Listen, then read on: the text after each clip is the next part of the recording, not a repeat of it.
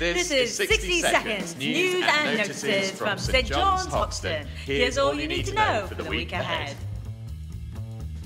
On Sunday, the 7th of January, we're going to start a new sermon series in Sanctuary called Just Christian. And we're going to be thinking about our faith and how that relates to some social justice issues. At 6 o'clock, we'd love to see you there.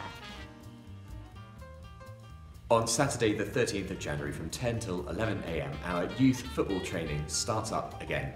It's for 11 to 15 year olds, and we meet on the primary school football court. See to Chukri for more details. On Saturday, the 13th of January, we're going to be having a sanctuary gig night. It's going to start 7.30 here. If you've never been to a gig night before, why not come along? There'll be great food, great music, great people.